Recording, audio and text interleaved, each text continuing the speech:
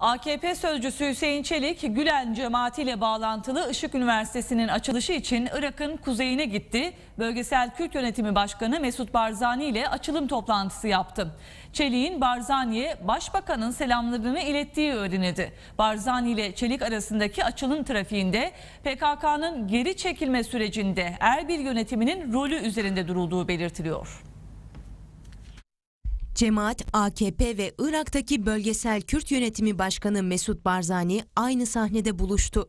Öcalan'la açılım süreci 3 kritik aktörü bir araya getirdi. AKP sözcüsü Hüseyin Çelik, Gülen cemaatine yakınlığıyla bilinen Işık Üniversitesi'nin açılışı için Irak'ın kuzeyine gitti. Çelik yola çıkmadan önce gazetecilere ziyaretin şifrelerini verdi. Bu aşamada Kuzey Irak yönetiminin onları kabul etmesi etmemesinden daha doğru bir şeydir.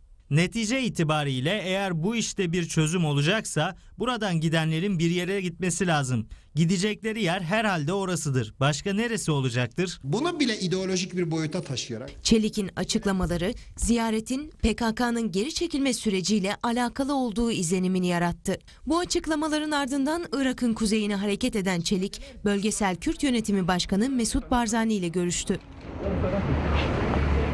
Basına kapalı olarak yapılan görüşme Erbil'in Selahattin kasabasında bulunan Başkanlık Sarayı'nda gerçekleşti. Görüşmede Hüseyin Çelik'in Barzani'ye Başbakan Erdoğan'ın selamlarını ilettiği öğrenildi.